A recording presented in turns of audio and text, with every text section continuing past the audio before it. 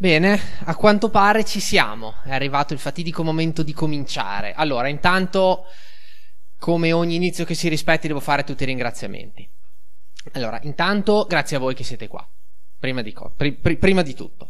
Poi, dobbiamo ringraziare il planetario che, come ogni anno, ormai da quanto? 10 anni? 12 anni ci ospita con il nostro annuale ciclo di conferenze. Ringraziamo il gruppo modenese Scienze Naturali, cioè l'associazione che, non so se l'avete sentito, quella che fa Ento Modena, per intenderci, che anche quest'anno ci dà il patrocinio. Ringraziamo Unimore, che anche quest'anno ci dà il patrocinio perché, mh, mm, insomma, noi ne facciamo parte, ma anche altri, altre personalità che eh, magari eventualmente vedrete nelle prossime settimane ne fanno parte. Ringraziamo eh, il comune di Modena che ci ha dato un aiuto anche abbastanza concreto stampando eh, le, le, varie, le, varie, locandine. Eh, ma eh, soprattutto ringraziamo poi i nostri relatori che sono venuti qua e insomma hanno lavorato e quindi poi, vabbè, poi vedrete. Io li ringrazio, poi giudicherete voi. Allora, eh, piccola introduzione al ciclo di quest'anno. Per chi è già venuto negli anni scorsi, noi ten- tendevamo a fare delle conferenze affrontate eh, da due punti di vista, cioè un tema affrontato da due persone, con due o più persone, da due punti di vista. Quest'anno il ciclo si chiama Scienza Confini, che vuol dire che noi cerchiamo di andare oltre la normale conferenza, diciamo che cerchiamo di evitare la conferenza accademica, lo facciamo, eh, come lo facciamo? Ognuno lo fa a sé, ecco. Noi abbiamo trovato un paio di espedienti, che adesso magari vedrete, ma eh, quest'anno ci siamo proprio dati l'obiettivo di mh, mm, un po' rompere la barriera tra eh, chi parla da questa parte e chi ascolta dalla vostra parte. Quindi cercheremo di coinvolgervi, cercheremo di di farlo attivamente, ma anche appunto con eh, i temi che noi trattiamo. Ecco. Riguardo ai temi che noi trattiamo, introduciamo quello che è il tema di questa sera. Questa sera parliamo eh, della bellezza. Che cos'è la bellezza? Eh, intanto lo chiedo a voi. Quindi, a questo punto chiedo aiuto al tecnico, eh, chiedo aiuto al notaio e chiedo aiuto a voi inquadrando questo QR però c'è anche un codice tanto ditemi se riuscite a inquadrare il QR se riuscite a vedere le cose ce la fate? ok, perfetto a questo punto dovreste trovare la possibilità di scrivere qualcosa, giusto? E a questo punto vi chiedo di indicare che cosa per voi è la bellezza. Fatelo, fatelo senza confini. Scrivete proprio quello che vi viene in mente. Tanto mettiamo su una musichetta d'ascensore.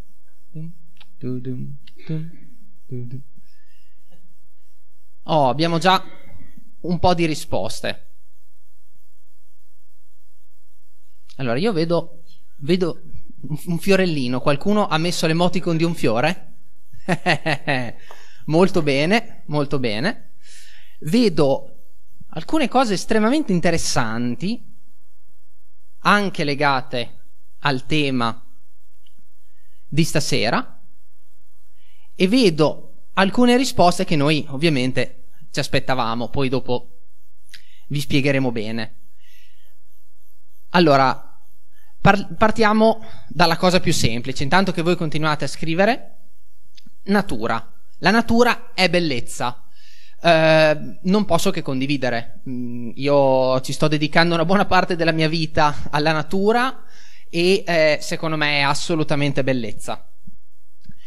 Poi armonia, grazia, proporzione, emozione, armonioso, ordine, queste sono tutte effettivamente mh, parole che si legano assolutamente alla, eh, alla, bellezza, quantomeno dal punto di vista estetico, giusto per riprendere anche un, un'altra, un'altra, un'altra tematica. E l'estetica sarà ovviamente trattata. E, e, e, poi ne vedo anche una, una particolarmente interessante, la simmetria. E effettivamente è, è, qualcosa che è già, come dire, è già, è già venuto fuori quando, insomma, se, quando se, ne, se ne parlava. Un sorriso, un sorriso è sicuramente un'emozione, appunto, mettiamoci dentro anche questa cosa, e avete risposto tutti? Bene, adesso io vedo una cosa, un, un tema che lega tutte queste, tutte queste parole, tutti questi concetti, che è l'uomo. Vedo che la maggior parte delle risposte sono, eh, una, mm, sono risposte che darebbe un uomo, darebbe una persona. Ora, mm, noi siamo tutte persone, siamo tutti esseri umani, scusate che con uomo non voglio escludere, voglio semplicemente dire Homo sapiens. E come Homo sapiens effettivamente l'Homo sapiens ce l'abbiamo al centro, ce l'abbiamo al centro del nostro universo. Questa sera però vogliamo fare un passo ulteriore. Noi ci chiediamo che cos'è la bellezza e che significato ha dal punto di vista di piante, di animali e quindi a questo punto direi che eh, mh, Mm, ci sono temi che poi dopo, insomma, che, che, sono già stati introdotti, che tratteremo, quindi a questo punto direi che eh, se, se te la senti, perfetto, allora lascio la parola a Elena. Grazie.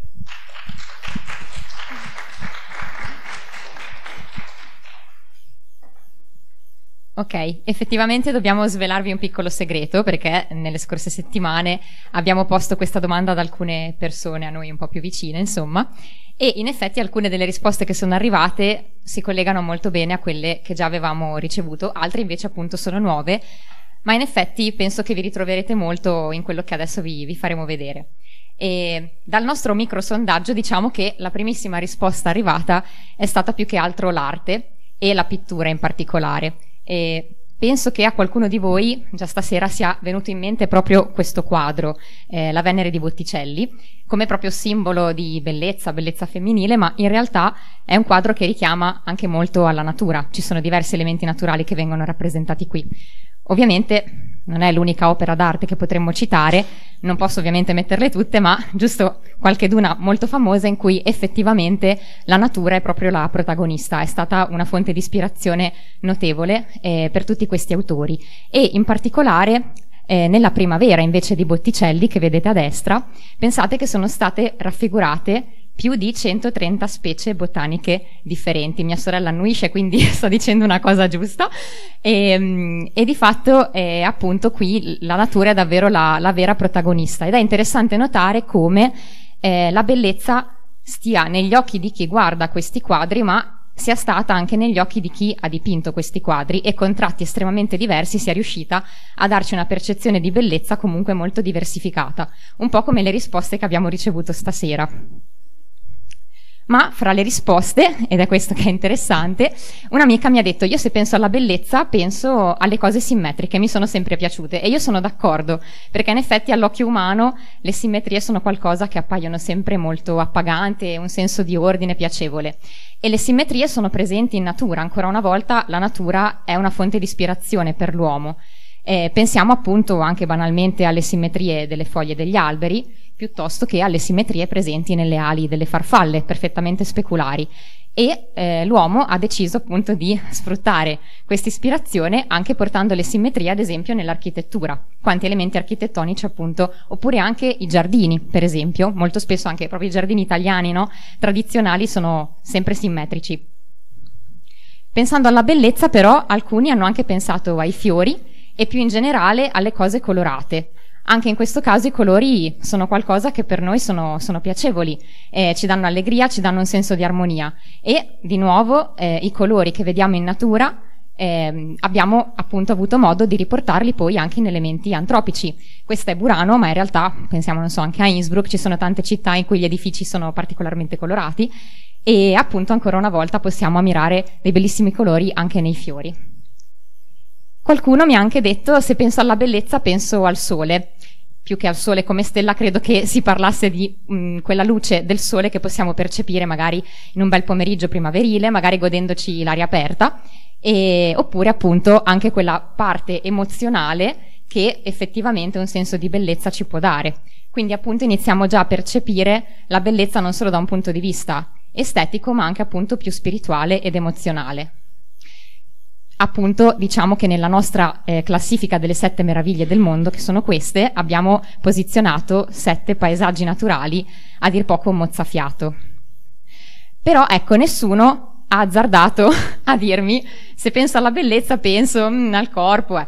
Ecco, l'unica è stata la mia collega, devo dire, a cui ho chiesto ma Sabria cosa pensi se ti dico la parola bellezza? Lei, io, io penso ad Aquaman e di, di fatto non potevo non mettere Aquaman nelle slide.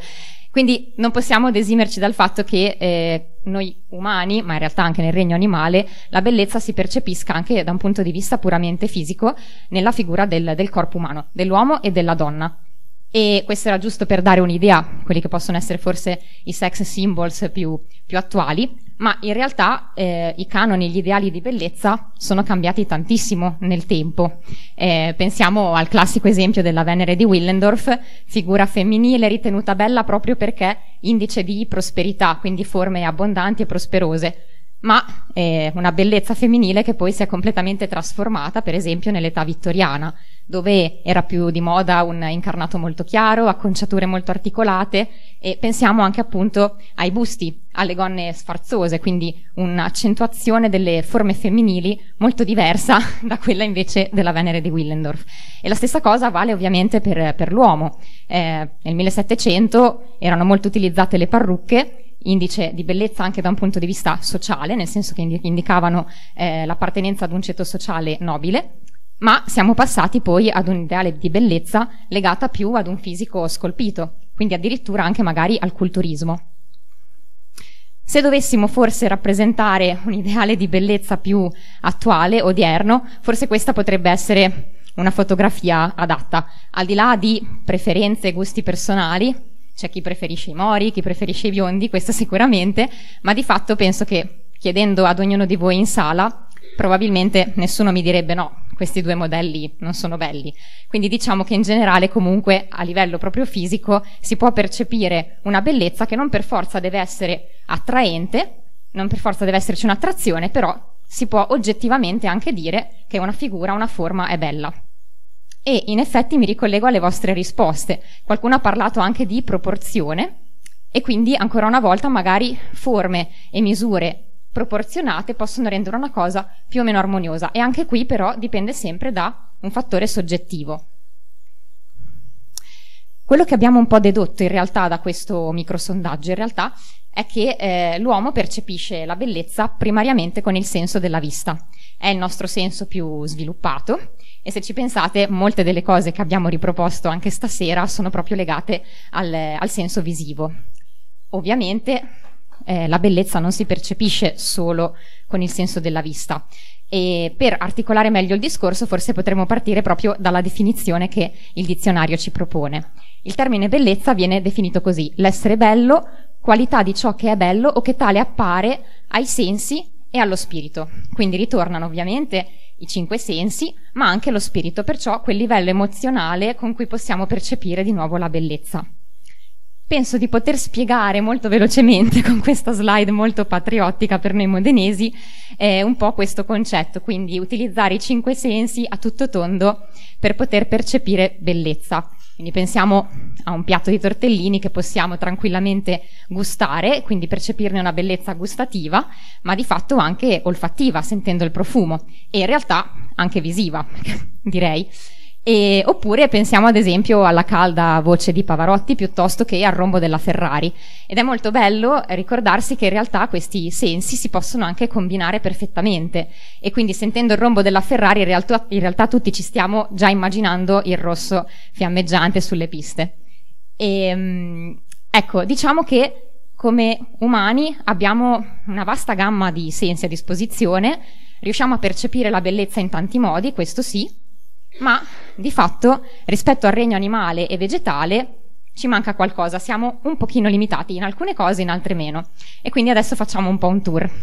Pensiamo ad esempio alla percezione dei colori che appunto sono stati un tema centrale anche tra le vostre risposte. Ecco, noi umani abbiamo la possibilità di vedere diverse lunghezze d'onda, diversi colori appunto, ma ci sono organismi, come ad esempio gli uccelli, che possono percepire ad esempio le, londe, le, le, scusate, le lunghezze d'onda degli ultravioletti, che noi non possiamo assolutamente vedere, scusate. E, ehm, ecco, diciamo che il risultato di, di questa percezione potrebbe essere più o meno questo. Eh, uno storno noi lo vediamo come nell'immagine di destra, sicuramente un animale bellissimo, vi invito ogni tanto a guardare eh, online per esempio le foto degli animali da vicino piuttosto che in natura osservarli anche col binocolo perché appaiono dettagli che da lontano non si possono vedere, ma se uno storno si guardasse allo specchio probabilmente si vedrebbe come nella foto di destra perché appunto ha possibilità tramite la visione diciamo, degli UV di vedere riflessi e colori che appunto per noi non sono percepibili. Ma in realtà gli uccelli non sono gli unici a poter vedere gli UV, perché anche le api possono vedere queste lunghezze d'onda. E da ciò risulta una visione dei fiori più o meno come questa. In questo studio hanno cercato proprio di riprodurre, utilizzando delle lampade, la visione dei fiori come potrebbe vederli un'ape. E in questo caso diciamo che sono delle vere e proprie piste di atterraggio, cioè l'ape sa già dove troverà il nettare, no? E quindi è molto interessante vedere anche, eh, anche que- questa, questa intensità che spicca proprio negli elementi fiorali contenenti il nettare. Però visto che vi vedo un po' rilassati, vi propongo un quiz. Ricordatevi che vogliamo capire come gli animali percepiscono la bellezza e dunque cerchiamo di pensare come loro, no? Quanti insetti vedete voi nelle due figure, nelle due foto? Se qualcuno vuole lanciarsi. Ho sentito neanche uno. Ottimo, siete, siete un pubblico preparatissimo e in realtà questo genere di orchidea infatti è molto famoso proprio perché decide di simulare le forme e i colori delle femmine di alcune specie di, di menotteri, quindi comunque insetti anche impollinatori. E, ehm, ed è strabiliante vedere comunque la somiglianza, cioè dobbiamo immaginarci di percepire questo dal punto di vista di un insetto. Quindi di fatto i maschi di queste specie sono molto attirati dalla bellezza di queste forme, dai colori, li percepiscono comunque simili alle loro femmine, quindi subito cercano di accoppiarsi con il labello dell'orchidea. Ovviamente questa, questo movimento permetterà all'orchidea di essere impollinata. Ma non è tutto oro quel che luccica. Questo tipo di strategia può essere utilizzata anche per un altro obiettivo. Direi che il nostro occhio possa percepire pian piano la presenza dell'amantide orchidea in questa foto, quindi un insetto che riesce appunto simulando colore e anche un po' forma dei, del fiore, dell'orchidea, eh, appunto riesce diciamo a nascondersi e quindi non farsi vedere da chi deciderà di visitare questa orchidea e magari farsi un bello snack. La cosa interessante è che le api, oltre a percepire gli UV, e in questo caso anche i bombi, hanno la capacità di percepire anche le cariche elettriche. Sembra che possano farlo grazie ai peli presenti sul loro tegumento ed è una capacità che per noi è un po' difficile da eh, immaginare, o meglio, anche noi possiamo un po' percepire la carica elettrica, generalmente ci consigliano no, di strofinarci il palloncino sui vestiti. Ecco, in realtà le api non hanno bisogno di eh, andare a contatto con il fiore per percepire questo potenziale elettrico, riescono a percepirlo anche senza eh, adagiarsi sul fiore e di conseguenza decidere se eh, andare a cercare il nettare oppure non sprecare energie e andare da altre parti, perché il potenziale del fiore quando visitato da un insetto cambia e quindi loro possono percepirlo già con un po' di anticipo, diciamo. Se parliamo di elettricità, possiamo un po' ricollegarci anche alla percezione delle onde elettromagnetiche. Uno degli esempi classici è lo squalo, ma non è l'unico che ha questa capacità. In acqua molto spesso, grazie a dei particolari recettori di senso, che sono le ampolle del Lorenzini e anche la linea laterale, posti rispettivamente sul capo dell'animale e e invece longitudinalmente sul resto del corpo, eh, questi animali possono percepire le onde elettromagnetiche appunto. E in realtà possiamo un po' immaginarcela così. Eh, come noi magari seguendo il profumo del piatto di tortellini arriviamo in cucina dritti al punto, lo squalo, per, percependo queste onde, riesce a direzionare il nuoto verso la, sua, verso la sua preda, verso il suo piatto di tortellini effettivamente. Un esempio forse simile è quello dei pipistrelli. In questo caso non si tratta di onde elettromagnetiche, ma si tratta di eh, ecolocalizzazione. In questo caso il pipistrello funge sia da sorgente che ehm, da eh, diciamo percettore, perché emette innanzitutto degli, infra- eh, degli ultrasuoni, quindi anche in questo caso frequenze che noi non possiamo percepire. Questi ultrasuoni andranno a rimbalzare contro una sua possibile preda, tornando a lui il pipistrello capirà in che direzione eh, rivolgere il volo e quindi andarsi a fare una merendina. Però torniamo un pochino a cosa possiamo percepire anche noi umani. Sicuramente i profumi. Ecco, forse i profumi non sono stati citati nelle risposte, ma ovviamente sono associati ai fiori e, mm, e in generale alla natura. Le molecole odorose che possiamo percepire a livello olfattivo eh, appartengono principalmente a queste tre categorie di composti organici e molto spesso quello che eh, varia molto la fragranza che possiamo percepire sono le concentrazioni di queste molecole nei vari mix di essenze. Ma anche in questo caso eh, la percezione umana è un pochino limitata. Vi ho messo giusto un'immagine di confronto del bulbo olfattivo tra eh, cane e umano è solo un disegno, quindi diciamo che è un po' difficile riuscire a percepire la reale differenza, ma sicuramente un dato importante è quello della superficie della mucosa olfattiva. Quella dell'uomo è in media di circa 3-4 cm quadrati. Pensate che quella del cane, ovviamente dipende dalla taglia del cane, ma può arrivare fino a 150 cm quadrati. E ovviamente in questo modo ha la possibilità di percepire non solo più molecole odorose, ma anche a concentrazioni più basse rispetto a quelle che possiamo sentire noi. Ma vi stupirà forse o forse no sapere che il primato in questo campo ce l'hanno gli elefanti africani a quanto pare, e perché grazie alla loro lunga proboscide appunto hanno una capacità olfattiva sembra ancora maggiore e anche una memoria olfattiva maggiore. Pensate che è stato studiato che possiedono nel loro DNA quasi 2000 geni deputati proprio alla ricezione olfattiva.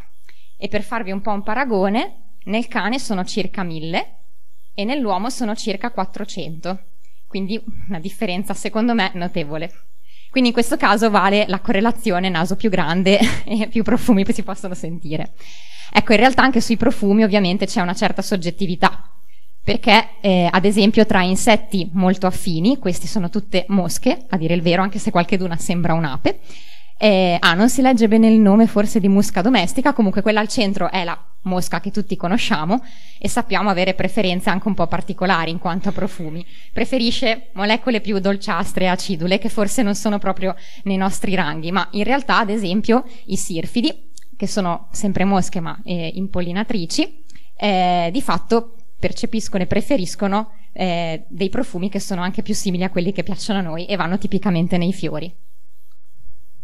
Poi c'è anche qualcuno che semplicemente decide di, di, profumarsi, gli piace profumarsi, fa un bel giro fra i fiori, si profuma per essere poi più bello e attraente per la femmina della stessa specie. Questo è un caso molto particolare di Euglossa dilemma, detta anche comunemente ape verde, che appunto semplicemente ha questo comportamento per, diciamo, piacevole profumazione.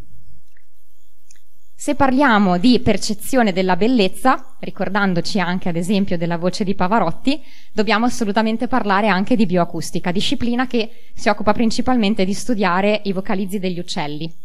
Ecco, gli uccelli, diciamo, sono noti per avere dei vocalizzi comunque molto melodiosi, molto dolci e che spesso hanno anche una funzione poi utile in accoppiamento. E questa loro capacità è proprio dovuta al loro apparato che gli consente di vocalizzare. Nell'uomo, come vedete qui a sinistra, la laringe, che è appunto deputata alla vocalizzazione, è localizzata molto in alto, molto in alto sopra alla trachea, mentre negli uccelli l'apparato, diciamo, analogo che si chiama siringe è localizzato invece molto in basso, al di sotto della trachea.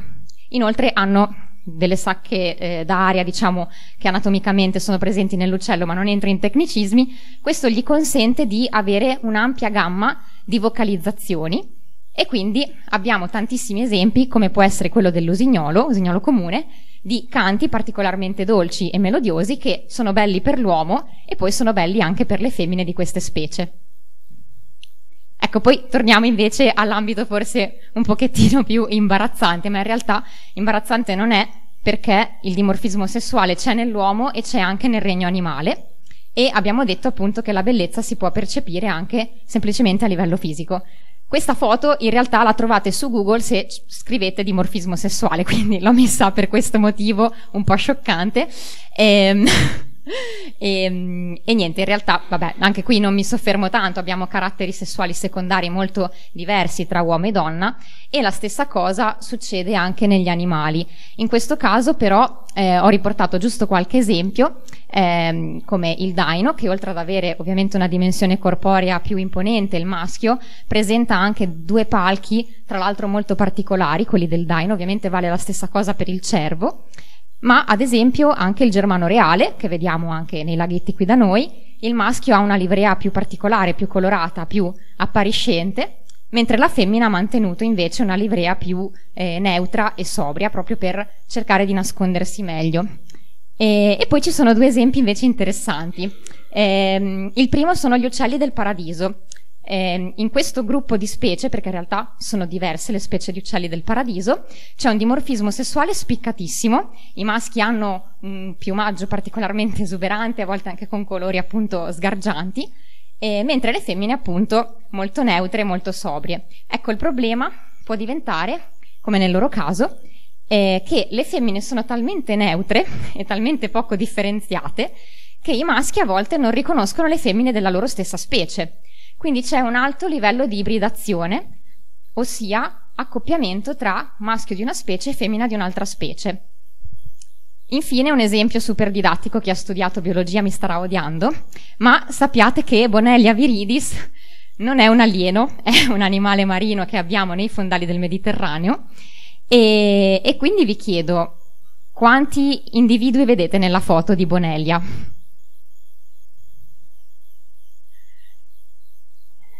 Due? Ne, ve- ne, vedete due o pensate che siano due? allora, beh, in realtà, vabbè, la risposta è quasi giusta. In realtà se ne, se ne vede uno, di fatto, che è la femmina, perché il corpo è, è unico, cioè la proboscide è attaccata alla parte più rotondeggiante, ok? Il maschio c'è, ma non lo possiamo vedere perché è all'interno del corpo della femmina e vive all'interno come simbionte con l'umilissimo compito di produrre gameti per poi eh, riprodursi sessualmente con la femmina.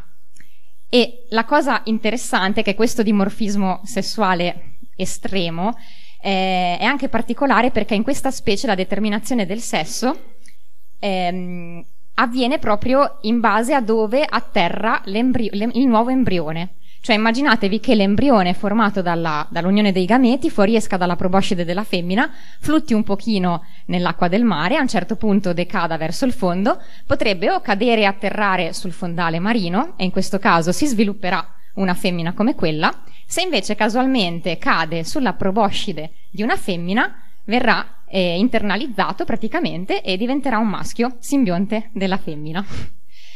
Dopo avervi stupito un po' con questo esempio, passo invece la parola a Samuel.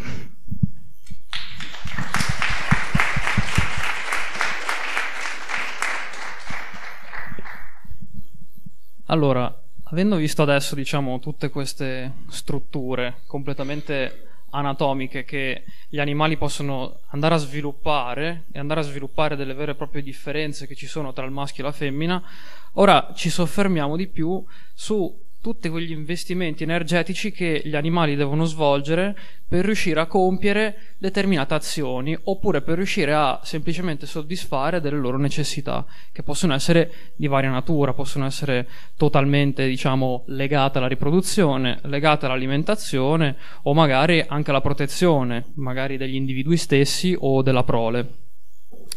Quindi, come vi posso far vedere qui nell'immagine sulla sinistra, questo è un termitaio, penso che molti lo riconoscano, è una struttura che viene adoperata appunto da delle termiti per andare a proteggere tutto l'intero ecosistema che loro hanno costruito e inoltre anche eh, la futura prole, diciamo, futuri, la futura progenie che si schiuderà dalle uova.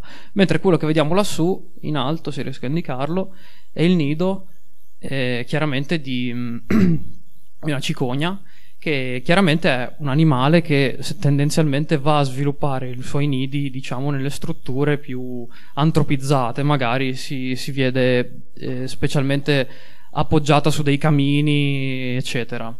Quindi la parte delle costruzioni nel regno animale è una parte molto importante, perché appunto è tutto ciò che gli animali utilizzano di, che non è eh, diciamo una componente del loro organismo, quindi non è una parte anatomica, per andare a svolgere queste funzioni. Un esempio molto importante, che sicuri, eh, sicuramente molti di voi conosceranno, è l'uccello giardiniere. L'uccello giardiniere, con questo nome davvero orrendo, Ptilonoricius violaceus, ha la peculiarità di andare a creare queste strutture, questi nidi. Lui semplicemente va a cercare degli spiazzi in mezzo alla vegetazione dove non ci sono altre piante e eh, con molta cautela va a posizionare tutta una serie di rametti nella zona centrale in modo da disporli come se fosse, si creasse diciamo una sorta di trono centrale. E poi con molta accuratezza anche va a disporre una serie di oggetti sempre di colore blu come potete notare nei dintorni del perimetro della corona centrale la peculiarità però è che lui va a utilizzare, come si può notare in questa in immagine, eh, una serie di oggetti che sono per noi rifiuti, banalmente. Possono essere candele usate, possono essere tappi oppure persino pezzi di stoffa. L'importante è che siano di colore blu, non importa.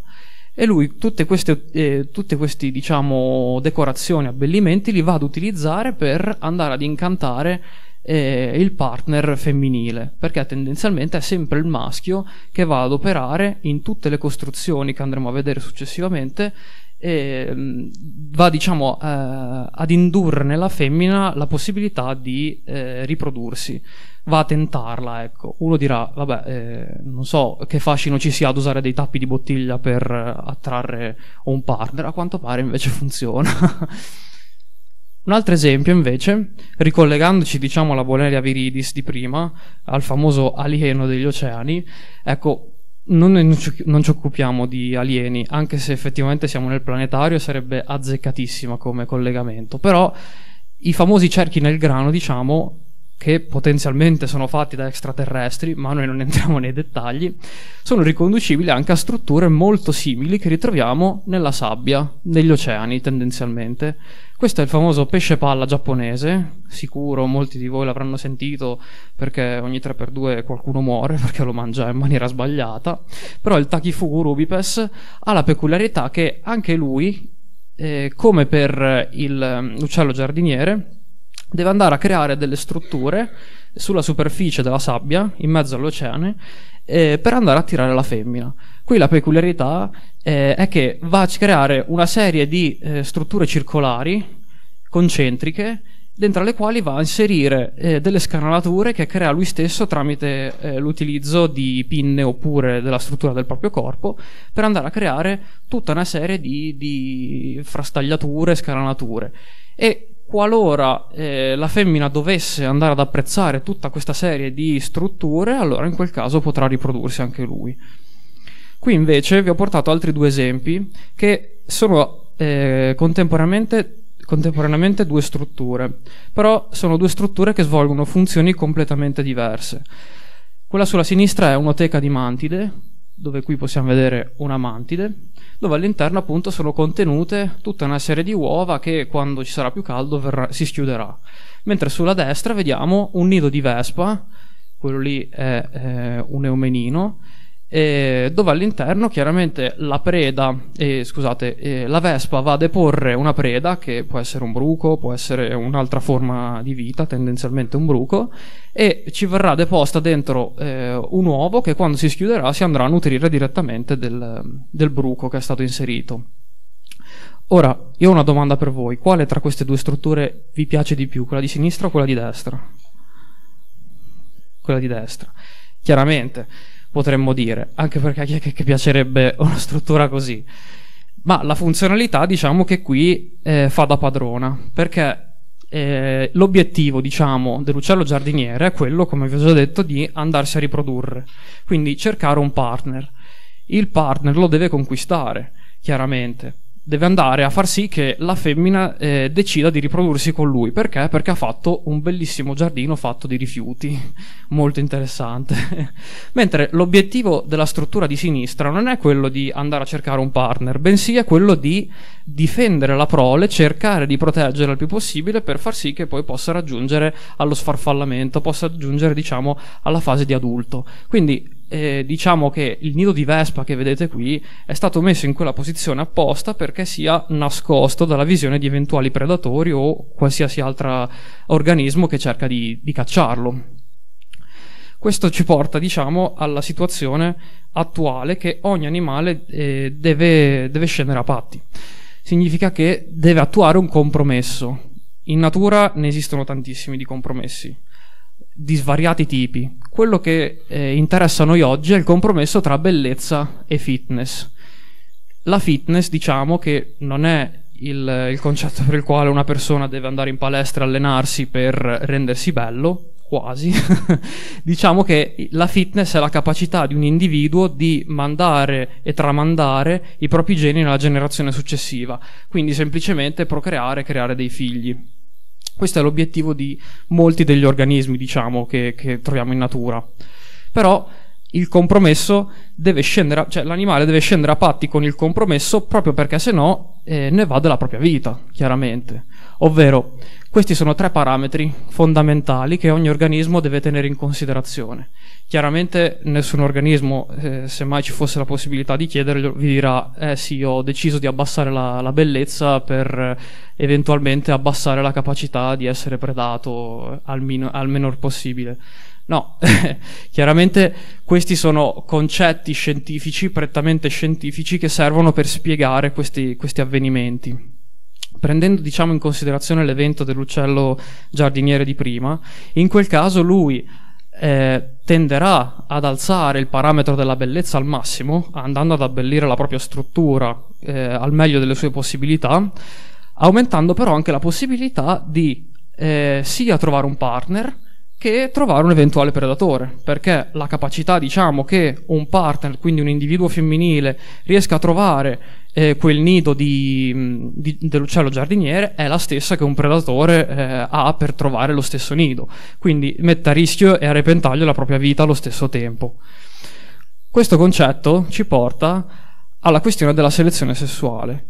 In natura, tutti gli avvenimenti, diciamo, eh, tutti gli avvenimenti, la maggior parte degli avvenimenti, o perlomeno quelli più stravaganti, come a vedere questo pavone, ricadono all'interno del concetto e della teoria della selezione sessuale. La selezione sessuale, per chi magari già la conosce, buon per lui, però ve lo metto qui come cenno, questa è una teoria che fece Darwin, uno dei più grandi naturalisti eh, che sono esistiti, questa teoria lui la utilizzò innanzitutto per andare a spiegare tutte quelle caratteristiche, quelle peculiarità che non riusciva a spiegarsi tramite il concetto di selezione naturale. Voi sapete che la selezione naturale è, diciamo, eh, la capacità di un organismo di riuscire a sviluppare caratteri per poi sopravvivere in natura. Ecco, quando lui vide il pavone, inizialmente, si domandò come mai tutti questi bei colori e queste belle piume gli servono per sopravvivere? Ebbene, non gli servono per sopravvivere, perché sono tutti caratteri estremizzati apposta per far sì che lui possa riprodursi.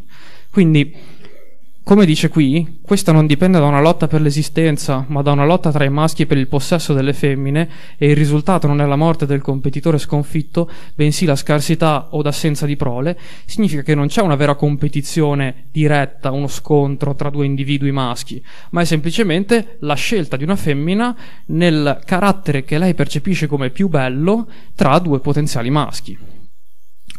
E qui appunto rientriamo eh, all'interno della caratteristica principale, ovvero è la femmina che va a scegliere il carattere che più le piace. Quindi è lei che decide quale maschio è potenzialmente più bello, con la quale poi si andrà a riprodurre successivamente. Però eh, gli scienziati non sono d'accordo, o quantomeno non gli basta questa definizione, vogliono andare più a succo, più, più in profondità.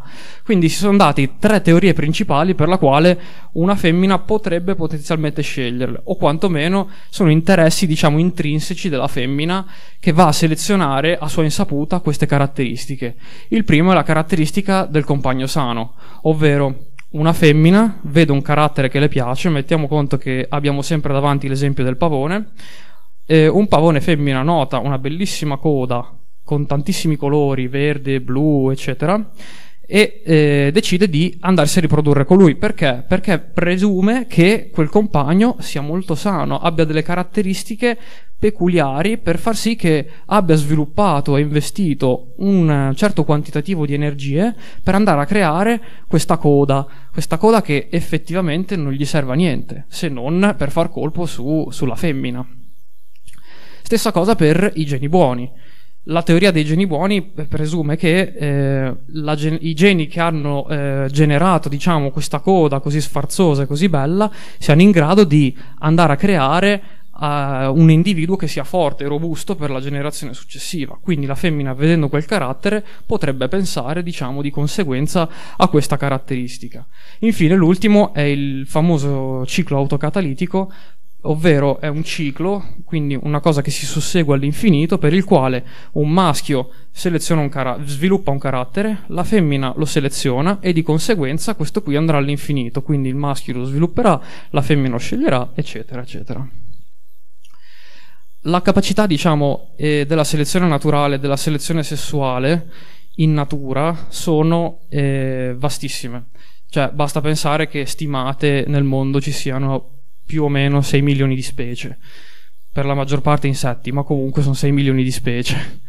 E tutto questo ricade all'interno del concetto della biodiversità. La biodiversità, lo riassumo in breve, diciamo, è la quantità di specie che ci sono all'interno di un determinato territorio, di una determinata area, che può essere un giardino, può essere un lago, una montagna o tutto il globo. È stato studiato, diciamo, che la biodiversità potenzialmente va a intaccare il concetto di bellezza. Ora io ho un'altra domanda per voi, poi giuro che la smetto. Quale tra queste due foto vi piace di più? Quella destra.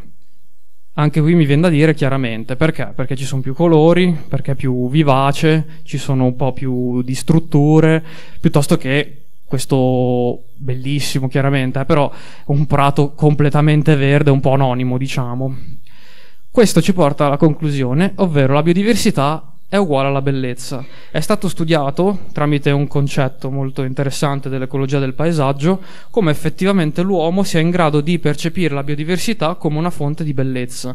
Non perché magari ci siano caratteristiche così peculiari, ma il fatto semplicemente che lui possa andare a ritrovare i colori, come abbiamo visto prima con Elena, la capacità che l'uomo ha di vedere, di percepire la bellezza è prim- primariamente, diciamo, tramite la vista, almeno solitamente è così, ma anche perché una vastissima capacità di forme, di organismi, ha la possibilità, diciamo, di introdurre una ricchezza in specie, quindi sviluppare molteplici interessi che possono variare dall'ambito botanico, dall'ambito eh, faunistico, zoologico, qualsiasi tipologia di, eh, di, appass- cioè, di qualsiasi cosa possa appassionare l'uomo, diciamo.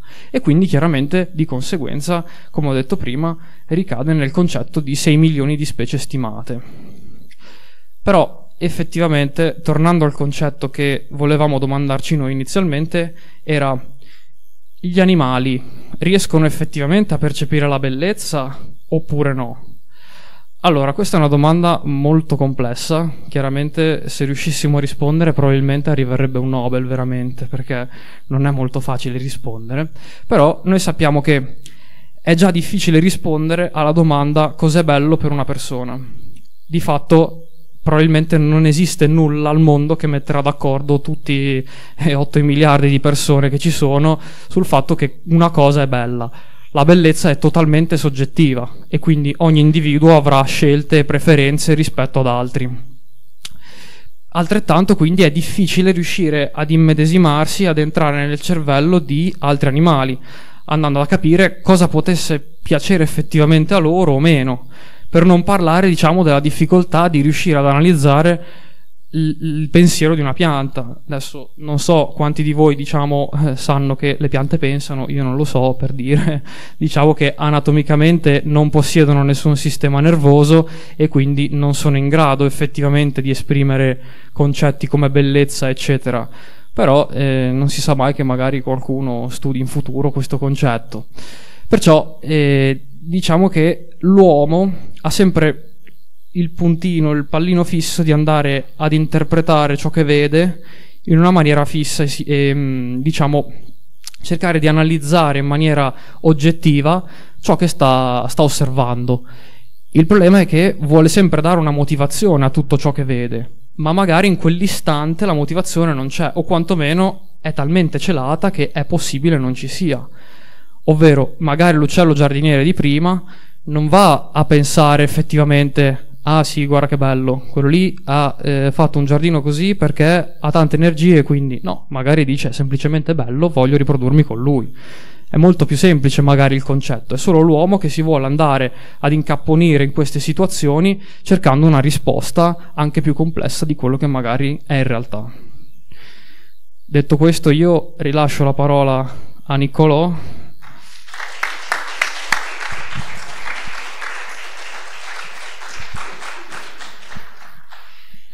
Niente, quindi eh, lo scopo di stasera era non darvi delle risposte, ma farvi venire altre domande, ecco.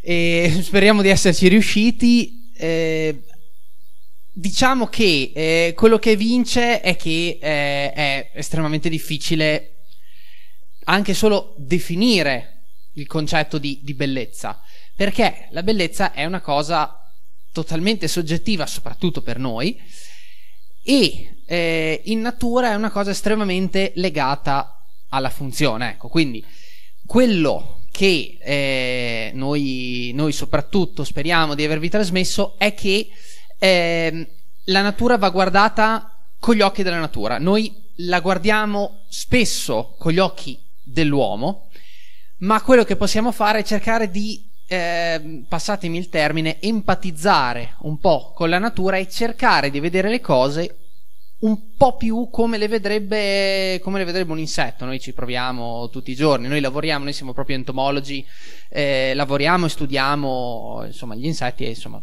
proviamo a farlo un po' tutti i giorni. Ecco.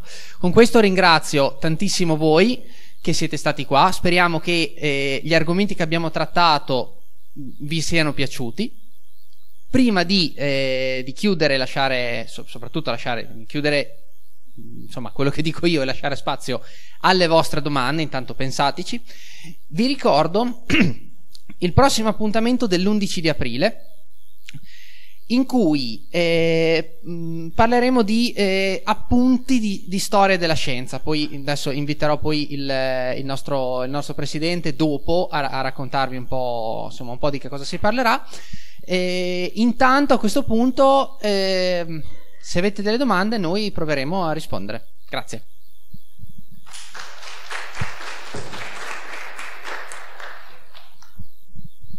Arriviamo.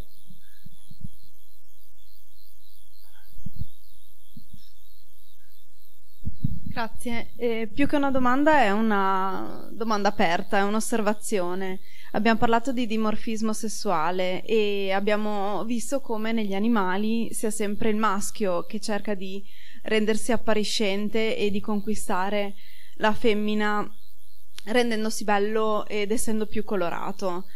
Come mai nell'uomo invece è il contrario ed è la donna che si trucca, si, si rende più appariscente, si fa bella per l'uomo? Cioè, se è vera sia nell'animale che alla fine anche nell'uomo la famosa teoria del basta che respiri, eh, diciamo così, ehm, come mai ehm, continua a essere il contrario nell'uomo che rispetto all'animale?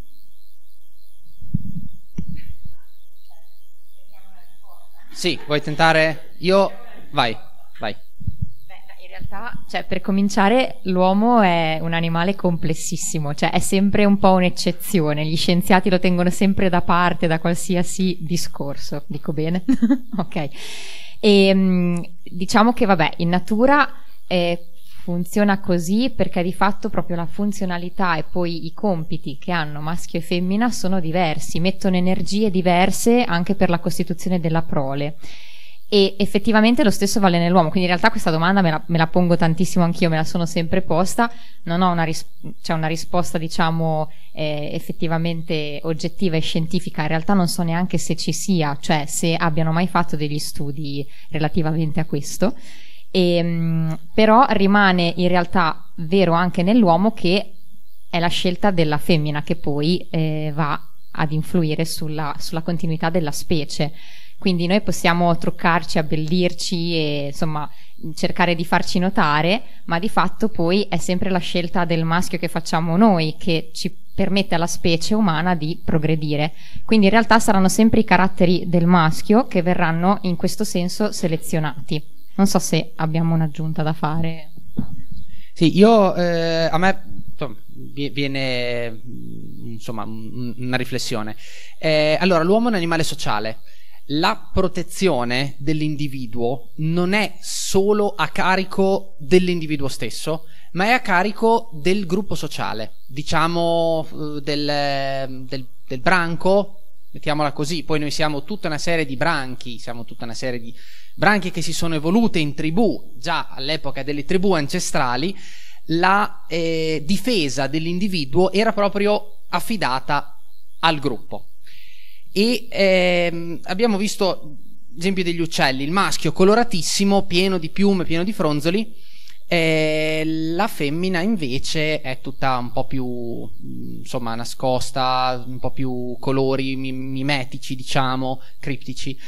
Eh, la ragione è un po' questa: eh, le donne, del, le, donne le, le femmine della specie Homo sapiens possono permettersi di avere tutti i colori che al di là poi della funzione del trucco per apparire più, più belli all'interno della stessa specie, diciamo che noi uomini possiamo permetterci come individui di essere più belli perché appunto abbiamo tutta una serie di costruzioni, sempre tornando al tema che diceva Samuel, che sono le città, che ci danno protezione. Quindi diciamo non c'è una risposta univoca, ci sono tutta una serie di risposte, però sì, insomma, avere, diciamo che se tu ti trucchi non è che passi e una tigre ti vede di più, ecco, mentre invece le, probabilmente insomma, un uccello del paradiso potrebbe essere così.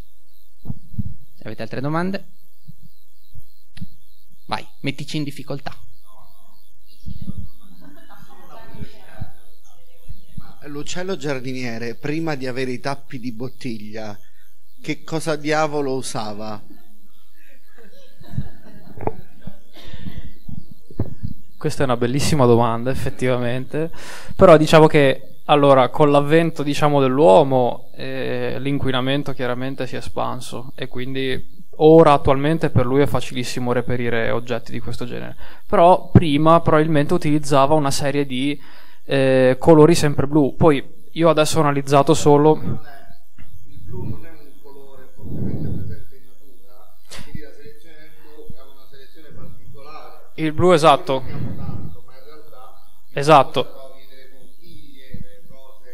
Esatto.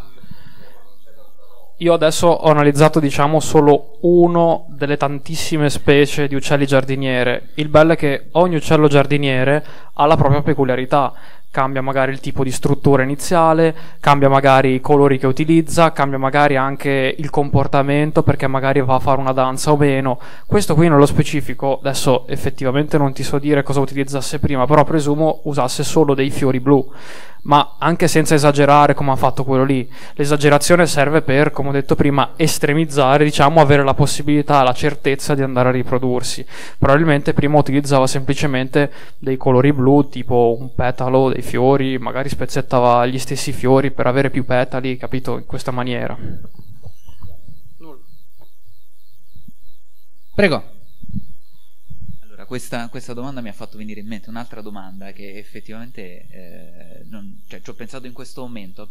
Il fatto che esistano dei materiali che prima non c'erano, quindi non so, la plastica blu per esempio, ha avuto un effetto sulla selezione dei, diciamo, sessuale tra, tra, questi animali. Per esempio, se sono stati osservati fenomeni del tipo se tutti eh, gli uccelli giardinieri riescono a fare un nido blu, e quindi sono più o meno tutti uguali, stanno sorgendo degli uccelli giardinieri che magari selezionano un pochino una cosa diversa che risalta rispetto agli altri e che quindi porta a una selezione diversa. Cioè negli animali sono, sono stati visti degli effetti dovuti alla presenza dell'uomo nella selezione sessuale, ma questo è l'esempio dell'uccello giardiniere, magari eh, diciamo, non so se ci sono altri casi. Ecco. Allora, nello specifico diciamo che non ti so dire un esempio di specie che è stata influenzata a questo livello, diciamo, dall'uomo. Però sicuramente, come hai detto tu, diciamo che inizieranno ad essere introdotti nuovi caratteri che poi magari potrebbero essere selezionati, capito? Quindi magari sì, l'uccello giardiniere, quella specie lì, inizia ad introdurre magari un colore arancione. Magari ogni, non so, tre petali o tre oggetti blu inizia a mettere un colore arancione. Magari vede che quel colore arancione la femmina le piace, l'attira. Quindi la generazione dopo è possibile che un altro maschio vada a mettere due oggetti arancioni, successivamente la generazione dopo tre oggetti arancioni, fino ad andare a sostituire interamente diciamo, il colore blu. È un processo in continua evoluzione, diciamo, non si può ancora predire cosa succederà in futuro.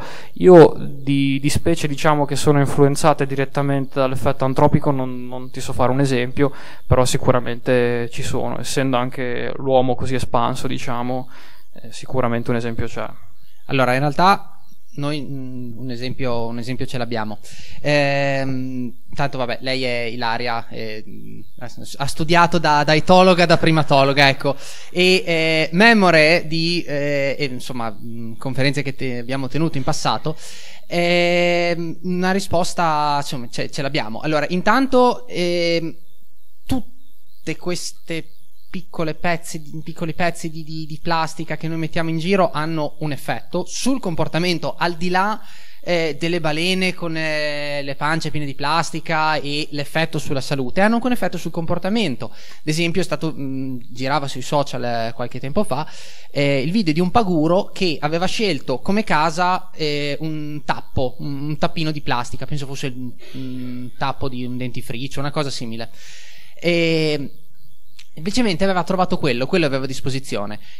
Quindi quello ha usato. E, ehm, in Australia eh, c'è un uccello che si chiama uccello lira eh, che eh, per impressionare la compagna riproduce i suoni che sente. Quindi, ad esempio, imita il canto di altri uccelli, imita il canto del cucaburra, imita eh, anche suoni che non direttamente eh, di altri uccelli.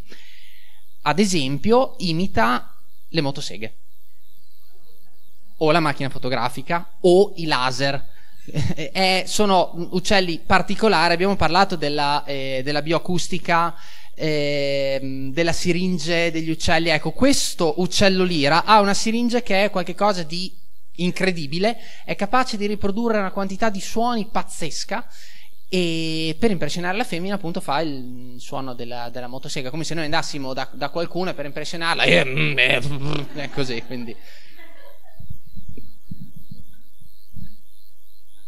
Funziona? Sì sì sì, sì. E, e io è, è, è, così che ho trovato la mia compagna. Sono andato là e sì assolutamente. Se avete altre domande prego Vai, mettila in difficoltà. No, molto semplice, credo. E non ricordo più qual è la specie di uccelli eh, di cui parlavi prima, ehm, dove il maschio eh, non riconosce la femmina. Lui ha colori sgargianti, un piumaggio molto particolare, ma la femmina invece è molto neutra e dicevi che quindi è tendente all'ibridazione questa specie, giusto? Ehm, ne parlavi tu? Ah, scusa, ero con... Ok, scusa. scusa. Eh, infatti, sì, sì, mi sono persa. E eh, no, allora ti chiedo, ehm, questo sempre in termini di evoluzione futura può portare alla, diciamo, all'estinzione della femmina e quindi alla generazione di nuove specie? Ci sono già dati a riguardo, statistiche, stime?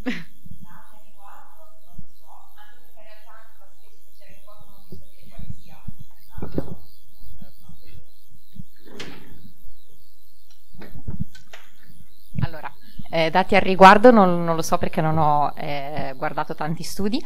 La specie che c'era in foto non vi so dire che specie sia perché non sono un'esperta di uccelli, però eh, effettivamente questo è un classico esempio di compromesso tra bellezza e fitness. Cioè ci sono casi in cui la bellezza viene talmente estremizzata, proprio per cercare di avere la meglio sugli altri maschi, in cui può diventare un rischio effettivo per la sopravvivenza della specie.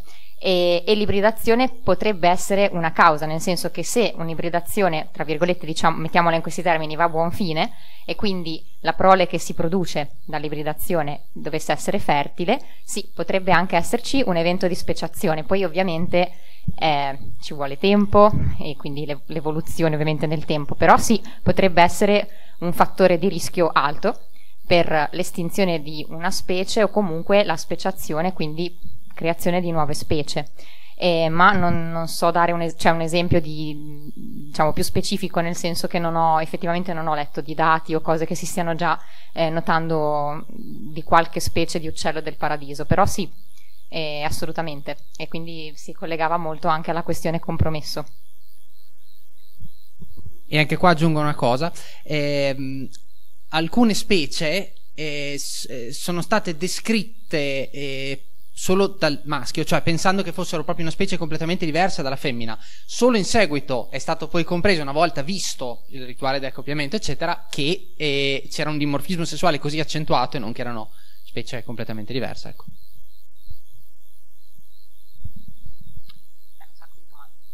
Sì, infatti, se ne avete altre abbiamo ancora un'altra domanda, poi basta, solo una. Quindi sceglietela bene.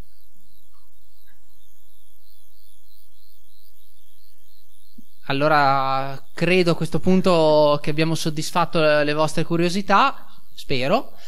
E niente, a questo punto invito il nostro presidente a invogliarvi.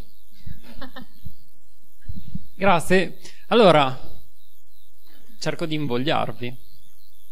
Appunti di storia della scienza. Dietro un titolo apparentemente accademico, oserei dire, no? C'è una conferenza inusuale per incoscienza. Sono 12 anni che facciamo conferenze, di solito parliamo di eh, diciamo, argomenti specifici legati alla scienza. Non abbiamo mai parlato della scienza in quanto tale. E quindi da questo punto di vista volevamo cercare di recuperare. In particolare con una domanda ben precisa in testa, che spoilerò solo a voi che siete qua presenti, potrebbe essere l'inizio della prossima conferenza quali sono le sfide scientifiche che la scienza deve affrontare in questo momento storico. Come si deve comportare la scienza da qui nei prossimi anni e da cosa può prendere, diciamo, che è stato in passato, che è stata la storia della scienza, che può aiutarci no, nell'affrontare e nello sviluppare la scienza del futuro? È una domanda interessante, magari non sarà facile anche lì dare delle risposte esaustive, però sicuramente una delle cose che abbiamo visto con Matteo Pagliani, che è il relatore della prossima conferenza, filosofo e eh, cultore di storia della scienza, è che appunto ci sono delle similitudini che si sono viste nei secoli, ok?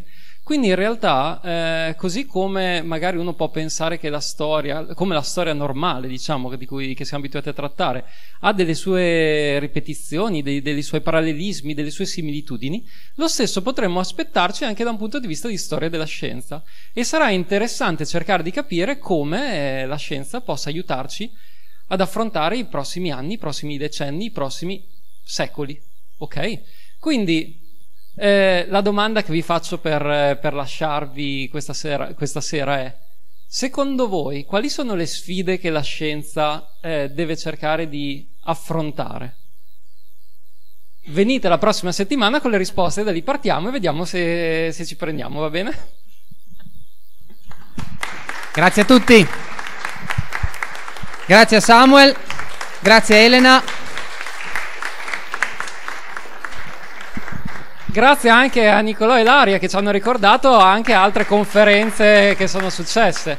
Vi invito, da qui, da, da, da, dalla, dalla, locandina c'è un QR code dove avrete tutti i nostri contatti, Facebook, eccetera, eccetera. Qualcuno annuisce, quindi l'ha, l'ha già visto.